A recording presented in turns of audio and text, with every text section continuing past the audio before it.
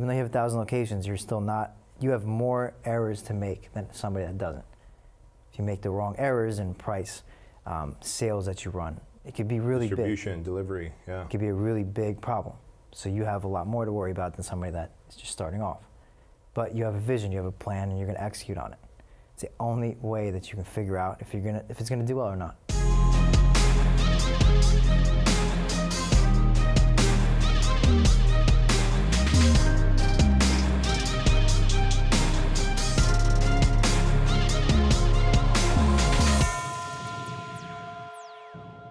Hey, friends, welcome to another episode of The Empire Show, an inside look. And today we've got someone very special, a guy who has built over 12 supplement company brands to the tune of eight figures. And he's here to teach us and tell us what it takes to build a supplement brand and sell it online today. Mr. Amar Patel, welcome, buddy. Thank you for having me here today. Yes, sir. Now, Amar is also someone who's been kind enough to help guide us here at Fit Body Bootcamp in our supplement brand that we're launching across all, uh, well, by the time we're ready, it'll be about a thousand locations worldwide and, of course, online. So you've been a massive help to us. You've got tremendous experience in the supplement company and branding and um, even using influencers to sell this stuff. So let's dive right in. First and foremost, how did you even find yourself working with supplements? Uh, so it started when I was 16. So I've been in the health and fitness industry since I started working out in high school. Yeah. So plain and simple, I got beat up when I was 15 years old, started working out. Um, and then I got a job because I actually had a passion for it and I loved what I did. So I started, I got my first job in a gym and realized I love working with people. And since then, till 11 years to date, I mean, never left the industry. Always found different avenues inside the industry to make money and also help people at the same time.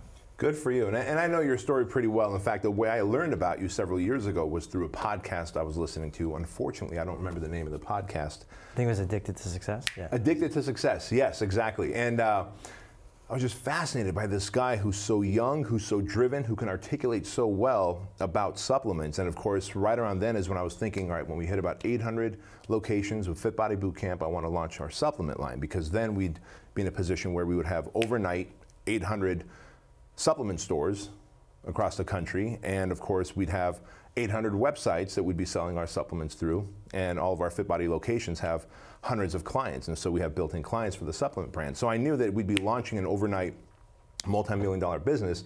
What I didn't know was anything about the supplement industry. So after hearing that episode of you on Addicted to Success, I was like, I got to reach out to this guy and meet him. And you've been kind enough to consult us. And I thought it'd be great to have you on the show because I get DMs all the time from people who go, hey man, I want to start a supplement brand. I want to start my own nutrition uh, supplement company. Um, do I need a big following? Do I need to use influencers? Should I buy traffic? What's a good name for it? How do I find the right manufacturer? I don't know this stuff because I'm in the process of learning it. So I figured who else to have on the show than someone who's built an empire with supplements, launched a dozen brands, and has been massively successful. And if I remember correctly, you've even sold a brand or two, right? Uh, one. One brand. Yeah. yeah. So you've kind of gone the whole gamut. And are you under 30 years old? I'm 27. You're 27 years old, so you, you're very young, motivated, driven, and I think our our viewers and listeners need to hear from you on this. So, you got into the fitness space because you were getting beat up, and, and, and was it high school? I was 105 pounds. 105, easy enough to beat up. I was the opposite. I was overweight and getting beat up and, and bullied. So it's like on either end of the spectrum, you get fucked with, yeah. right? And so you obviously get into the fitness industry and you're in great shape now. You and I have worked out together at BK Strength, but you chose supplements as your path. And I know where supplements are concerned, and I've seen the movie Bigger, Faster, Stronger. Um, there could be some shady stuff that happens in the supplement industry. Why don't we start there before we talk about how to make money with supplements? What kind of shady things take place? Well, I mean, there's so many different things. Like when you start a brand and you have a vision and passion and you're excited about it, there's a lot of manufacturer plants out there that just look at you as that one person that's coming to the table with 50 grand. How can I maximize and get as much money from you as the brand owner? Because I know you're going to fail. Is there a high failure rate? Yes. Oof. There is a high failure rate just because you're never going to know until you get into it. But the thing is, the same exact time, if you spend too much money and all of your money on inventory, which is what they're going to want you to do, and you have no money left for marketing, I made that same mistake with my first brand. So let me I guess. had to spend all of my money into the brand as far as the packaging, the supplements, the ordering quantities that came to the warehouse. I mean, we probably had five grand left to put into marketing. which is the kiss of death. So typically what happens, since there's a high failure rate, someone says, hey, I've got 10,000 or 15,000 or 50,000, and the manufacturer knows there's a high failure rate, so they're gonna try and get their arms around that 50,000 or $10,000. One time because they don't think you're coming back. Yeah, because you're a one-time pop for them. Yep. It's very rare that someone's going to actually succeed, and so they want you to buy as many. And this is probably why they go, "Hey, look, when you buy in bulk, you save per unit." And this is how people But end you up, haven't sold the unit, so how are you going to know? right? That's the thing. So you end up with a bedroom full of supplements or a basement full of supplements, which is how most people end up, right? And wondering. Well, they tap into the, the greed of the person as well. So it's not just the manufacturer side, it's the brand owner that's thinking greedy. When you have a brand, start with one, two, five SKUs, thousand units, right? Instead of doing 5,000 of each, like, oh, let me get the best rate that I can so I can make the most pennies on this sale. You don't want to do that. You want to basically test the market. You want to test if it's working. Don't put all of your money into exactly what you know is going to fail. You know it's going to fail because you're trying to launch a brand without knowing that your consumer's going to buy it. Mm. So what I'm hearing you say is, if I've got fifty thousand dollars, and that number could be 10,000, 15,000, 20,000. If I'm one of those shady manufacturers, you got 50 grand, you're going to give it to me. I'm going to get you the product. I'll tell you whatever you want to hear in the beginning. Oh, I'll get it to you in two weeks. You don't know shit about the industry, right? So you're like, okay, whatever. Once you get into bed with them, they've had your money. They're not, they're giving 50% down, 50% when you get it. 50% of that money is gone if you don't continue with them. So, So they you're take, committed. they take 10 weeks. 50% money is gone. They do whatever they want. If they don't want to put you in next line to do production, they can wait another two weeks because you only spent 50 grand, somebody else spent 200 grand. So how do I protect myself from not falling for that? How fast they try to get you to launch, if they try to take your money as soon as possible, it should take a reasonable amount of time 90 days to launch a brand. If somebody's trying to get it done in two weeks, it's impossible. You So if they're making you a promise like, hey, in two, three weeks we can have you launched, they're full of shit. Well, it takes 90 days for you as the, the owner to know the name of your company, the trademarks, the packaging, the direction. You get The to build that yeah. As you're getting the formulations made, the ingredients, everything that's being done needs to be done simultaneously. But if they try to say, hey, give me your money up front, I'm trying to get this product for you as soon as possible, you're not even ready to take that product, third party fulfillment, or if you have your own warehouse, you don't know where it's going. You don't know if it's if it's going to come too soon or come too late. They don't really care. They're going to take your money, and in 10 weeks, if you call them up and say, "Hey, it's I think it's eight weeks overdue. I need my product so I can start selling it," they're going to say, "Oh, it'll be done next week." You call them back next week. "Oh, it'll be done in a couple of days." And by the time you look at it, I've seen some brands go 16 weeks without getting product. Wow. And when you're a brand that's launched and live, think about 16 weeks of no inventory, payroll, rent, warehouse space, influencers. They could destroy your business overnight. So my mind says then if I've got 50 G's and this manufacturer wants half now and half upon delivery, I'm going to say, well, here's half, but let's sign an agreement that says if you don't deliver by when you say you're going to deliver, you owe me my money back. Would that be a fair way to go? Is to sign a contract? Like, how do I protect You myself? can, but when you're a small brand like that, you're not thinking that. Right. Well, this is why we're going to we're going to teach people on the show. Yeah, that's something that you can do. Um, you can get a manufacturer's agreement, standard agreement that'll say, I need the product by this date from the time I get to the labels, because you need the labels first to run the bottles. What manufacturers used to do back in the day, they used to make the products, and then I'd have five flavors. How am I supposed to know if all these bottles are black? Which one goes where? What flavors? You've had some products that come in that I open the bottle, it says cherry limeade on it, and it's like uh, blueberry because they you need the labels first in order to manufacture it. So it all starts from when you get the labels done to when they get to the facility because they got to put the labels on first, and then the product gets mixed and dumped into it. Machines won't take it any other way, otherwise you'll just ruin perfect good product. Gotcha. That makes sense. So manufacturer's agreement is going to say what? It's going to say a delivery date.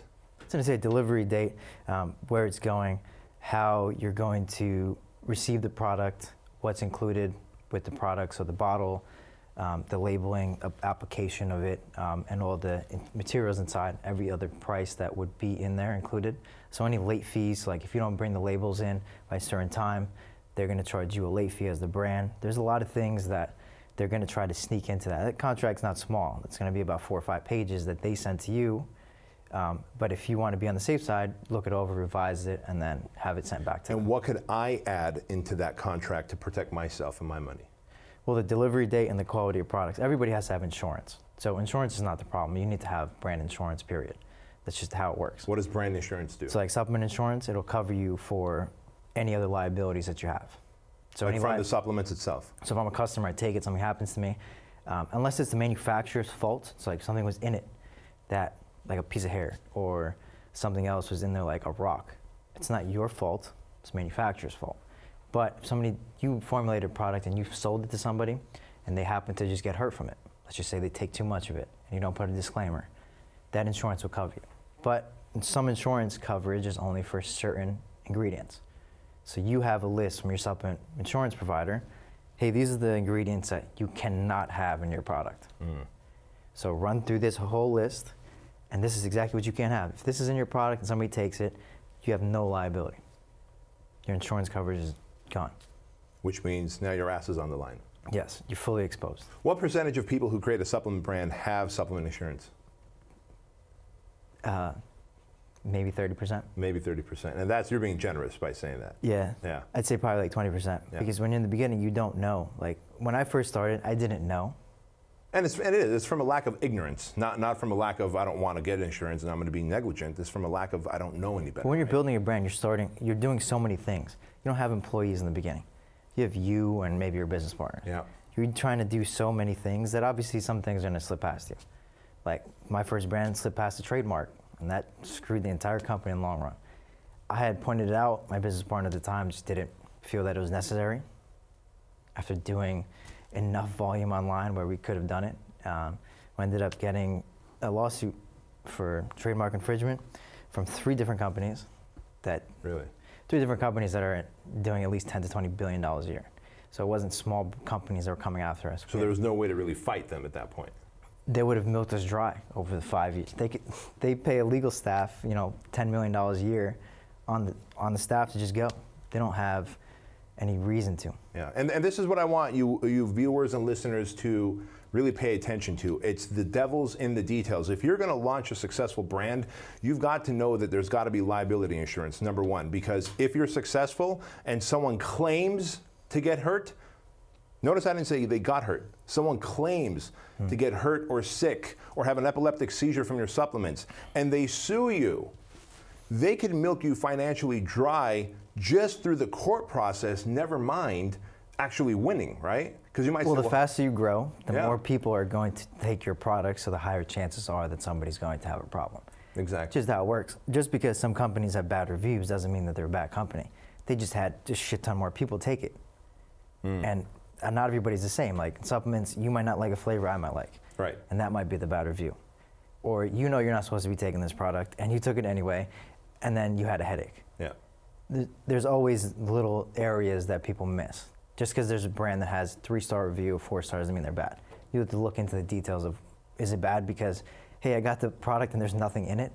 That's that's the area of concern. Is that sometimes some products will get to you and it's half full, quarter of the way full. Yeah.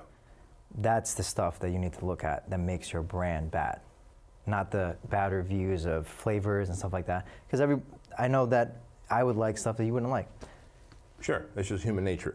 And so the other thing that could really be the kiss of death for a business is, and this was for you, was a trademarking issue. Yeah, trademark. no- I mean, it's fifteen hundred bucks, something like that, right? But the reason most Should've- people don't do it, it's just not sexy. Like, who has time to go there to go to trademark? But it's not even that. It's not even the part of being sexy. It's just like when you're working at that pace and you scale, you're not looking at what did I forget a year ago. Yeah, Those are things that come to bite you in the ass eventually.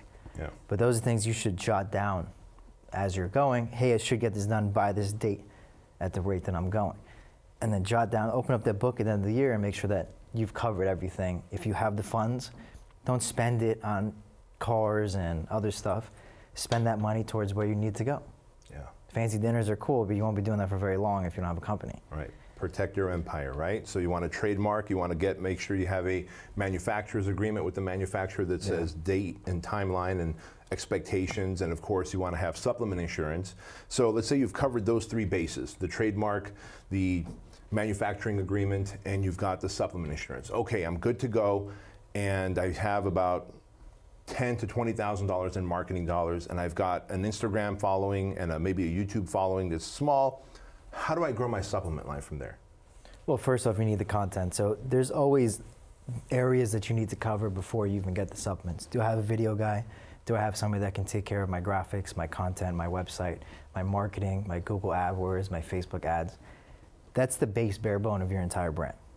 Not one person is going to be successful without having those things because if you don't have the proper images, you don't have high quality pictures and videos of how to portray what this brand means, there's no way you're going to sell the product. You can have the best packaging, but if people don't know who you are as a brand, Yeah. nowadays, maybe five years ago it might have worked, but people are getting smarter. Yeah. They want to know what's in their products, they want to do the research, they want you to answer back to them.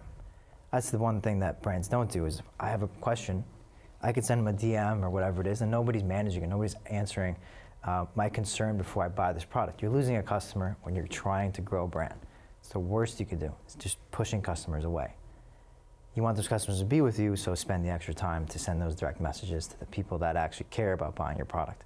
If they've made it into your direct message or they've commented on your photo, they will 90% of the time purchase if you answer the question that they're asking. That's huge. That's huge. And on the flip side, by the way, we've seen people who, and I actually saw a tattoo artist who's pretty successful and popular. Apparently, someone sent him a DM and he didn't reply back for days. The person sent another DM. He or anyone from his staff didn't reply for days again. The person took a screenshot, and ironically, I follow the person because it's a celebrity. The celebrity is a quasi celebrity. They took a screenshot of their DM, empty, no response from the tattoo artist or his team, and said, Hey, look, I was thinking of getting a tattoo from this guy. I'm no longer going to get it. And this is a person of influence. So it works for tattoos, it works for fitness franchises, it works with supplements. Yeah. Right? Just business ethic 101. If you're going to be in the Instagram game or you're going to be in the social media game, use the tools that are provided for you. Yeah. Those Or those tools will work Those against tools are you. free. It's not Yeah. like somebody's bashing on your door for money. Yeah. You got a free app, you got a phone. Everybody has a phone. Use every single area of your phone. Text messages, emails, direct messages, the new email. If you don't open your direct messages, you're failing miserably because people want to buy product from you and they're probably reaching out there. Exactly. There's always different ways. People, if wherever the people are, you can do email marketing campaign that are opt-in, or you can just get fresh, organic leads of people that are coming in. You funnel them through the Instagram DMs so that you can answer their questions, provide them the quality, send them to the website with the code that will help them make that purchase. Now, what's the benefit of the code? The code is specific. You don't have to put it up anywhere. The code is, hey, you know what? You might be concerned about taking the products for this, this, and this reason, but you know what? For your first time purchase, here's a 40% off code. Everybody else is getting 20. But you don't have to market it. You can just say, hey, you're a new customer. Here's Right. 40%. Now, there's two benefits to that code, by the way. Everyone watching and listening to this, you need to understand. See, this happened in the infomercial world years ago, and some of the audience here is like, infomercial. Yeah, if you remember, there was Guthy-Renker and, and other companies like that that were creating workout machines, right, and selling it on TV late at night on different channels. How do they know what channel sent the traffic? Because the 800 numbers were different on the Proactiv or the Abdominizer or the Bowflex, whatever the product was, depending on the network it was showing on, the 800 number that you would call was different, and that was the equivalent of a code. And so what Amar is saying here is you can do two things with the code. You can say, look, everyone's getting 20% off, but since this is your first time purchasing from me, here's a code that'll get you 40% off. So, one, you're increasing the likelihood of a purchase. Number two, if you say this is the only code I'm going to use to, through people who come through my DM, now when you look at your shopping cart at the end of the month, you can go, holy cow, I answered a thousand DM questions and we got 122 people from DMs who use the code. So you can track where the traffic's coming from, and it's no different than that different Exactly. 800 number. And so that's really important note. So now that we know that, how do we use that code method to scale traffic through influencers? So you're talking about the code for the people that are reaching out to the brand, or you're talking about Well, let, us say now you're going to get influencers. How would I mm-hmm. get influencers for my supplement brand? And then would I give every influencer a different code? well, every influencer can either have its own URL, so it's just a click, let's say like their name at the end, but it'll go to their website. So anytime the person goes on, it's just going direct. Yeah. Or you can get a code that is signed up through a back end, like Refersion or something like that, that you can track the sales that come in from that specific person's code. So if they make a post, they're supposed to put the code in the post. And if people go to click the link in the bio, it doesn't matter as long as they use the code at time of checkout. Um, that's the only thing that matters. Or if there, there is no code, they can just send them direct to the website with the link, with their URL. A very specific link. URL, if you are good on your end, as far as the website and everything, you'll upsell that person. You're just going to try to get the traffic. Yeah. And you're going to do the job of converting, which means you'll probably pay less in commission. Makes sense. Makes sense. And so, where the codes like that are concerned, you might see influencers putting out a code and saying, hey, look, I use this particular creatine and it gives me these results. By the way, if you want to save 10%, go Well, this is the thing. I would just go really far away from the whole. You want to save 10%. It's this is what I take because I genuinely take it. Yeah. Do you want to buy it? This is the perk. You want to buy it because you follow me and I, you see my results and I post consistently and I've been taking this product. Nobody's going to make that one-time purchase. Like, hey, you just made one post. It's going to take the person that's your follower at least one month to realize that you can represent the brand because you just pop up out of nowhere saying, "Hey, I got promoted and I got sponsored by this brand." And all of a sudden, the next day, uh, for some reason, all your results in one day came from one fucking product. Right. Not likely. It's not. You have to slowly just start with the review. I got this product today. I just started working with this company. Um, this product has helped me through my workout today because I took a pre-workout. I'll reach back out and make a post in a week or so once I see the effects of the other products. You cannot say this is like, made me shredded in one day. Right. You have to say the honest truth, just being honest. Honesty sells right now more than anything because everybody tried to play the fake game before, saying, "Hey, I take this product, but hey, by the way, I just got sponsored by two other brands. I take this one and this one and this one," and people are just diluting all of their follower base because they're seeing so many different brands with one person that they're a sales machine. They're not a human being anymore.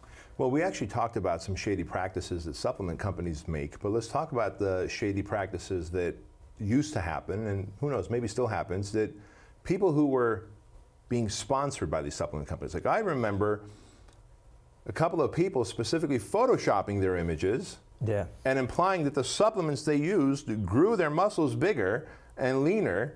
Well, if you think about it, 30% or at least 40% of this industry does it. There was just a few that needed to take the blame for it. It's not that these companies weren't doing it. Right. They tried to be that person that said, oh, we don't do it because somebody got the spotlight. So if you knew you were doing something wrong, you either fixed it or you tried to hide behind somebody else that was getting the spotlight and all the attention saying, you guys are pieces of shit, you guys are um, scamming your customers. Even though they were doing it too. They were also doing it as well. what a So shit the thing is, there was a there was a blanket. Yeah. So when that happened, there's a lot of people that blanket underneath it and said, "Hey, I'm just going to ride on the radar, and make a shit ton of money the same way, but I'm not going to say anything." Hmm.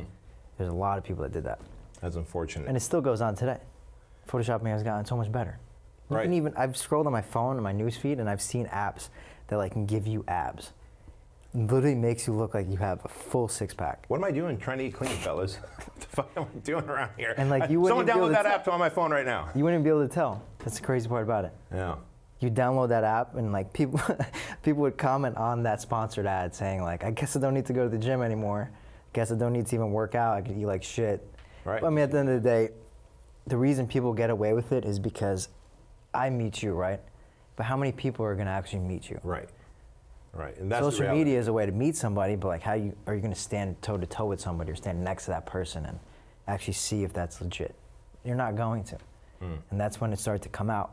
Was when social media started growing, people would see it. Then, hey, you're gonna do an appearance. You're gonna come. You're gonna come to my event. Then you're gonna really see what's going on, and that's what starts it. Is when you try to make your own image a different way online as opposed to in Right. person. Larger than life. Yeah. Basically. Yeah. And people are going to catch on. It's not because you didn't work out today. Like, you just didn't work out for six months. right. You use the fucking app is what you did. Yeah. Yeah. Yeah. So let me ask you this: If I'm creating a supplement brand and I want to get sponsored athletes, basically influencers, to promote it, what is my step-by-step process to do that? Well, the thing is, you need the content. You need to send free product, free product to the influencer so they can try it. But wait a minute. Let's start here. How, Oh, do I know who's a good influencer? Where There's a ton of there's a ton of websites that will actually give you a platform to spend money on for influencers that they have collected over time. What are these websites called?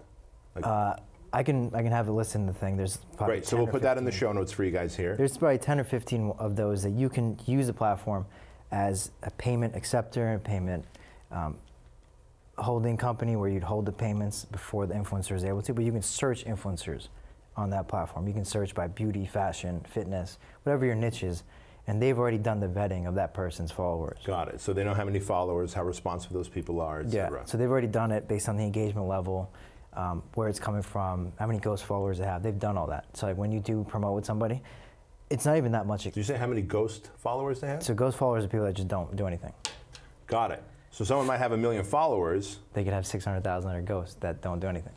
But it's also because the algorithm also stops some people from seeing stuff unless it's seen three times or more on their screen, and then they keep going. Sure. It's like when you post, I comment on it because it comes up first. Because I've commented on it three times and I never swiped past it. Right. But when people start to swipe past your post three times, Instagram believes that you no longer are interested in this person, so I'm never going to show them to you again Got it. until so we it do another this update. person's no longer relevant to you. Until we do another update, and we'll see if, it, if it's worth it. If People can still compete with it. Okay. So we go to these sites, we find the right sponsors, at least who we think is the right sponsors, and then how do we, what do we offer them? Is there a competitive percentage? Well, they have a price. They have a price per post, or you can do a commission, or you can sign them. Um, what do you recommend? What's the smartest way to go? in the beginning, per post, find out and test before you sign somebody because you could sign somebody for a year that will never convert the dollar value you're trying to pay them. If you're paying them, you know, five grand a month, and you just sign off because she looks good, or she got a really, really big following of five million people, but you don't know if somebody's gonna buy. Oh, Always start off with the test. Pay more up front Yeah. than signing a contract that's going to cost you in the long term. Even if the girl's asking for 500 bucks, it's worth it. She asks for $1,000, it's worth it. Pay her. When you pay her, you're going to find out if she's capitalizing that thousand, and then take your numbers and figure out if she's worth this amount of money every month. Hmm. People just jump into it. Hey, I got this great celebrity. I know for a fact the only people that really sell product and sell out of product are people like The Rock. Put up one exclusive product and they're sold out Right. he could put anything on there, anything, and he'll sell out of it. But that's different. Now there's influencers that are fitness celebrities. That's a totally different ballgame as opposed to a celebrity celebrity. Right. So celebrity celebrity would be someone like The Rock, Oprah Winfrey, Yes. right? And then a Somebody that fitness- has huge influence that people are basically going to say, okay, you know what, this guy's representing it. It's 100% working. Yeah. And then there's people that I follow so many fitness people just because it's fitness, but I don't really buy any of their stuff. So I'm one of those people that don't really buy. I mean, I don't need to because we manufacture a product. Sure. So the thing is, I don't need to buy, but if I was a customer, I wouldn't buy it because I would have so many people just competing for that space. I got 500,000 followers. I'm an influencer in the fitness, and then I got 10 other people that do the same thing for different brands. Who do I trust? Hmm. I'm so gonna then what do you do to make sure that you get the right influencer? look into their page. program. Look into their page. See if they're a genuine person. See if they're actually representing a brand that you know other people have represented. So the thing is, if you're looking for an influencer, if they've represented other brands in the past, look at who they represented, and see how well they've done with those. How brands. can you see that? you can see how well they've done with those brands if they do their own content. Because all the time, you're not going to have like somebody like um, a photographer or anybody else is going to be able to do all of these athletes at the same time. They're not going to be able to shoot them. If people do their own photo shoots, they're putting in extra work. They're putting in the time that you would have spent money on because they have a passion for it. And you can tell by the videos that are recorded by themselves, as opposed to videos that Sure, someone shot. somebody else shot and edited. yeah. But those people are the ones that convert the most because they have a genuine story. They actually believe in the product, they have a passion for it, and they create good content. They're basically holding up a review video of take this product because it actually works, not because I'm being sold it to make a lot of money. So let's shift gears here for a moment. You've, you've created a dozen different brands, and We manufacture for Well, a dozen brands. So you manufacture for a dozen yeah. different brands. Good point. Um, how do you find certain niche markets doing? Like, are there brands that cater to just guys and dudes versus women versus vegans? And is there a specific niche market that does better? No, the thing is, whatever you have a passion for. I know some people that would never put um, bad ingredients in their products, and they want a clean, organic line. And that's their preference because they believe in it. If you're going to start a brand, you're going to make sure you're going to start a brand because you actually believe in it. you believe in the packaging, you believe in the quality of the ingredients because you yourself will take it.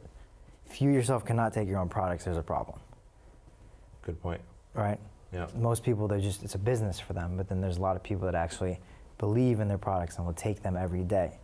And they'll post their reviews as the owners of the companies taking their products, and that actually builds more of an engaged follower base because they believe in the person that's taking the products. If it's the owner of the company, they're not taking crappy products. They would never take anything crappy for themselves. Good point. Good point. So it's funny that you say that because as we're creating the supplement line for Fit Body Bootcamp here, we've done taste tests many different times. Mm-hmm. And truth of the matter is, when you use artificial ingredients, stuff does taste better. It, do, it tastes better, but but that's what you get with. Right. Because we're in a place right now where we want everything to be organic, mm-hmm. Chemical free, hormone free, no artificial sweeteners. We're using monk fruit, as you know. You're helping us with this process. And every time we go back and forth, the flavors keep getting better. But I'm shocked how much better supplements that are manufactured with Sucralose. yeah, artificial sweeteners and fillers And dyes, and yeah. dyes and lectin, they taste so much better. Um, yet we're getting close to that flavor, and obviously we use better ingredients, better, higher quality, hormone-free, non-GMO, etc.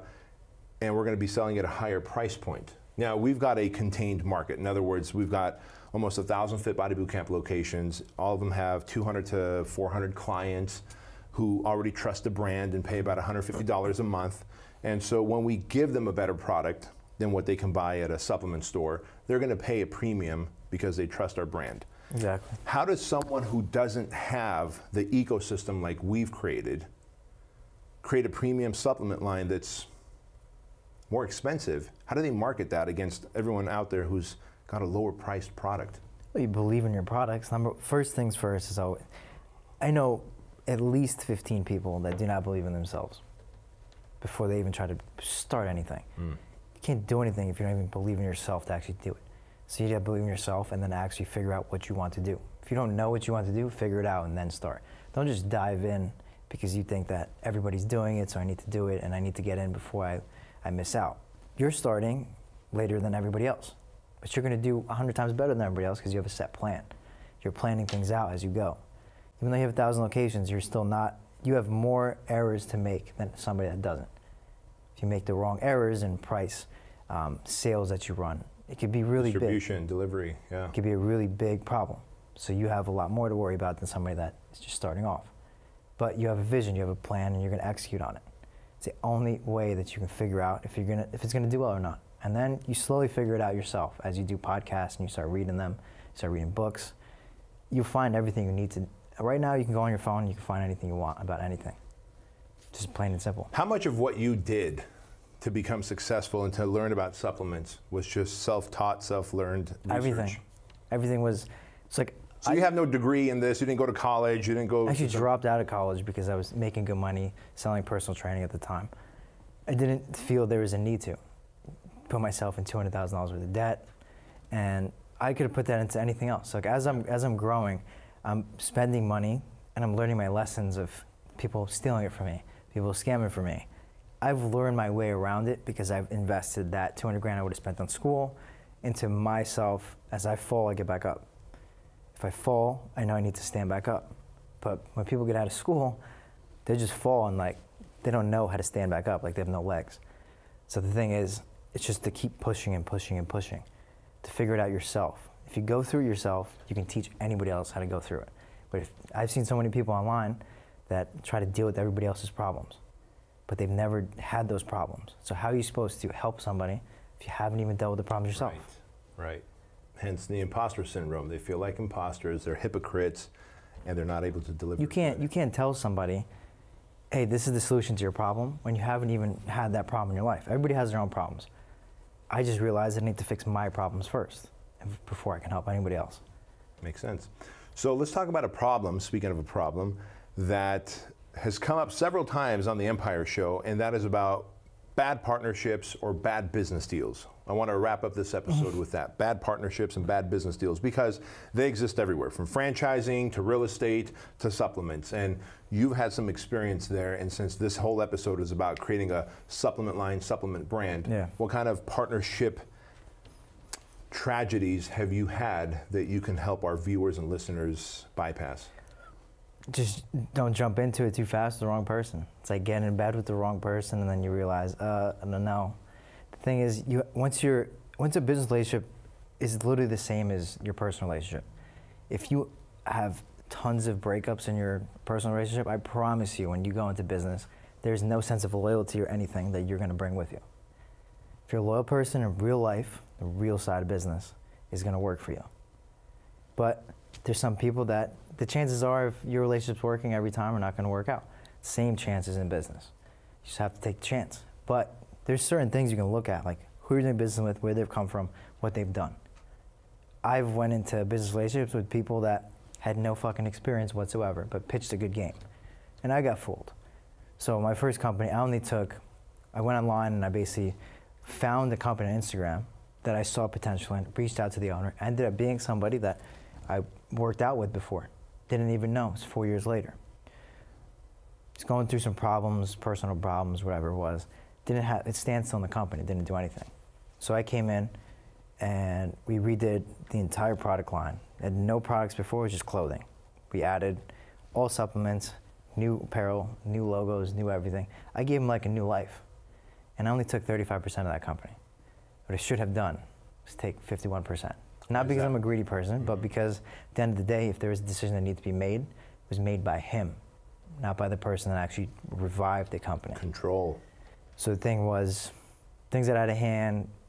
He was spending too much, blah blah blah. It just ended up being, we didn't have enough money for inventory when we were growing so fast because you can spend twelve hundred dollars on a dinner, but we can't get a trademark for fifteen hundred bucks, which I've already implied that from the start. So that was the one problem that I had was getting it across, but I making that decision to do it. I didn't have that authority in that company. Even at 35, even if I owned 40, 49%, I still had no authority. Even at 50-50, we could have went to court for it. Right. But 51% and his ownership is going to be his ownership. Yeah, especially with all the work you did. So that's a great lesson is obviously if you're going to come in and make all the big moves and breathe life into a dying supplement company, you better ask for 51% because that person is better off taking 49% of something than 60, 70%. This nothing. industry, is so, it's not easy, but it's easier to get to that goal of 10, 15, 20 million because it's supplements. People are going to buy. If you find your rhythm, you'll sell a lot of it, but you're not ready to absorb that money. Like you haven't, it's like saying you get into a Ferrari and you're worried about fucking scratching the rims. If you own a Ferrari, you don't give a shit about the rims. But it's somebody that stretched too thin that gets into a Ferrari that is now worried about every pothole and every scrape and every scratch. Right. Because they're literally living by the penny now. Exactly. Yeah. That's exactly how these supplement companies run. They try to milk all the money out of it, get as much as they can out of it, close the company down. Wow. Nobody has ever said, hey, let me just sell this company. It's always like they're doing something shady as hell inside the company where they can't. So let's finish off there. You've had the good fortune of building and selling a supplement company. How did that process look? The process was the, probably one of the longest processes because you have to. I had no employees in the beginning, not one person. It was just me and one of my partners, and we would just do everything day in and day out. And I learned everything about the business as I went. Um, when we first started, the manufacturer, I didn't know anything about manufacturing. I went to a manufacturer. They tried to milk me for money. We said, "This is our budget." We should have told them it was less. Um, somehow they got us to come down to the plant and then convinced us to buy $30,000 of the product. We only had $35,000 to spend. So of the $35,000 that you had total, you spent $30,000 in product. Yeah. That's a great lesson to learn here. So now we get the product and we're looking at it and we're like, all right, we only five grand. What are we going to do with it? Once we run through the five grand, like we're going to have to go door to door and sell this stuff because there's no more money coming in. And we just you know, hustled door to door. And I knew a lot of people from my hometown where they knew a lot of supplement stores. So we'd go into supplement stores and I would just walk in, here's the product, try it out, reach back out to them in a week. and start to sell the product that way. But I mean, with our social media following, we had 300,000 followers five years ago on that specific business. So it was like every single time we made a post, we gained two, 3,000 people, or 5,000 people, or 10,000 people. Because the algorithm wasn't kicking in where it was suppressing the post. It was just, if you posted every hour in the hour, you would see it because you open your phone every hour. Gotcha. So you'd post 24 times a day. So you went from zero employees to how did you get to the point of selling it? There was only 10 at the end of it. And then once we got to the 10, we didn't know what to do next. Like we didn't know how to scale to the next level. So we had went ahead and just sold it off. So the thing was, we didn't know exactly what to do, and that's how every company is. Like you're going to get to a certain point where you're growing and growing and growing, and you get to 5,000 locations, and you're like, okay, this guy's coming in here. He's going to say, okay, how am I going to take this to 10,000?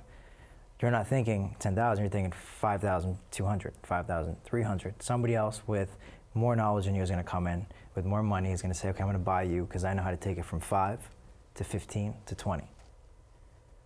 And that's what happened in your supplement business. Yes, Did you find that person or did they find you? they found us. They found you. Yeah. So they saw that you guys were growing at a good spa- speed, uh, probably in a space that was Not really touched because it was Instagram. It wasn't okay. retail. And so they knew that Look by buying you, they could dive into the Instagram world. Yeah.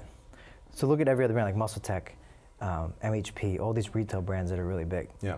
They're making maybe two to three dollars a unit. Online, you're talking you can make forty to fifty dollars a unit if you price it correctly.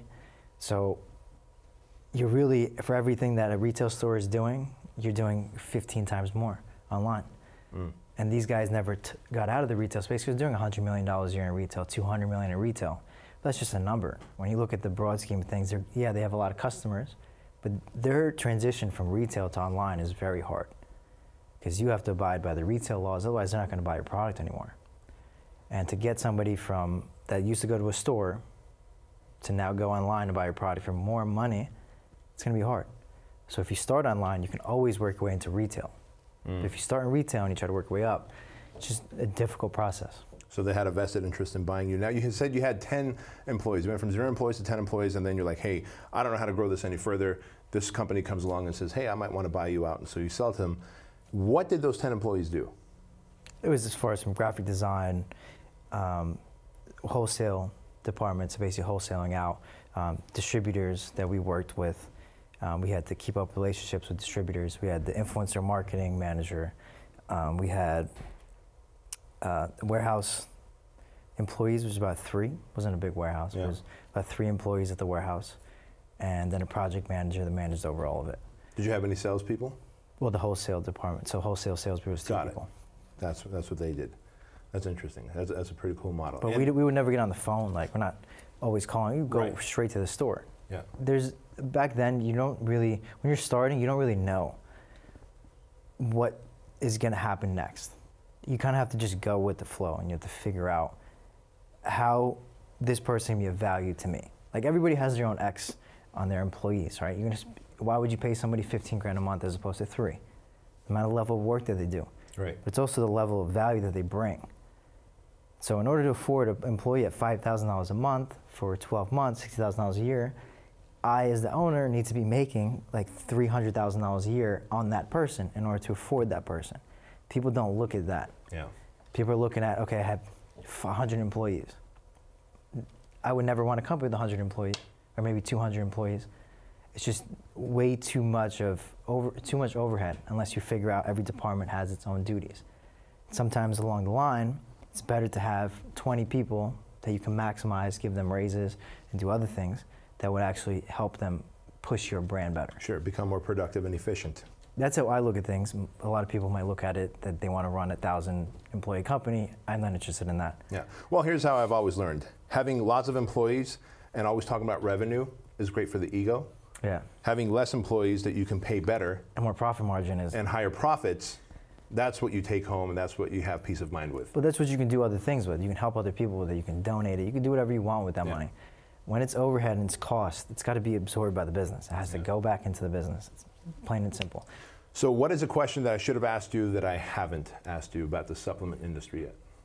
Well, I mean, I guess you're looking at the health of a plant. So how to gauge if a manufacturing facility is healthy. So there's two ways to look at it. You can look at it as, hey, these guys have a lot of clients, or hey, these guys have little clients, they have 10 or 20. You don't know the difference between the two. If they're price cutting, which they most likely are, everybody's trying to fight for everybody else's business. And if I'm looking at fighting for everybody else's business, I have to drop my prices to the point where if you order 100,000 units, I might as well go um, start a new brand that's going to order 10,000 units. Yeah. Because I'm going to make more money on that. And I believe in the people that are going to come to me that want to launch their brand. These other guys, they're just fighting for that same person. How many times can you cut something? Over and over, and they bounce back and forth, bounce back and forth, bounce back and forth.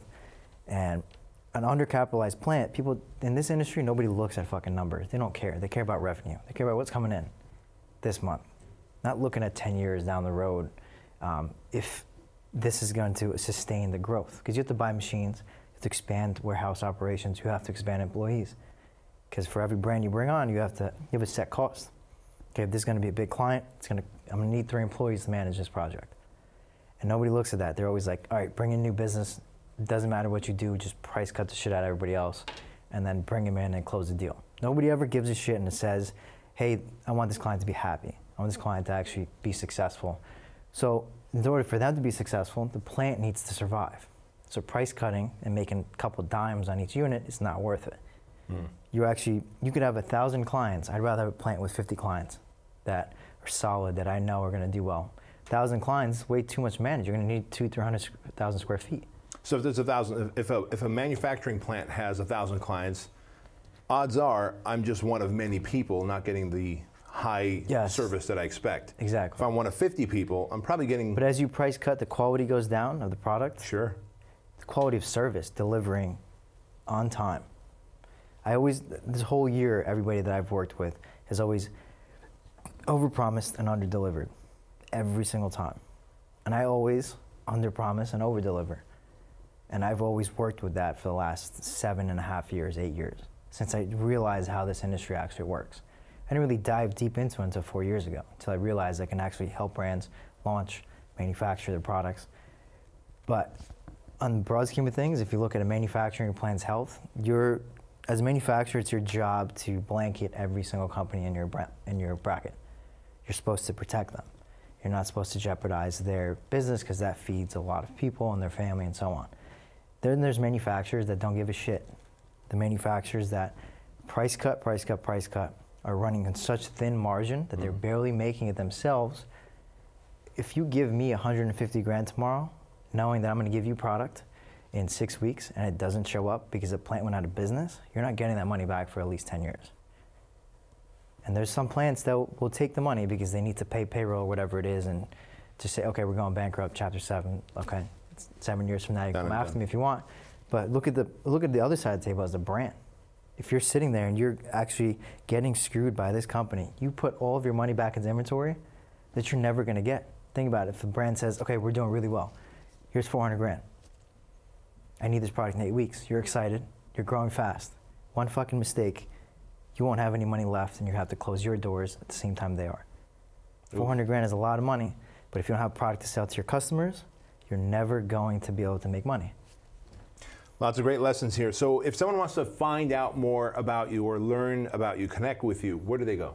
Right to my Instagram. I answer all my direct messages. What's your Instagram? Uh, Amars underscore way.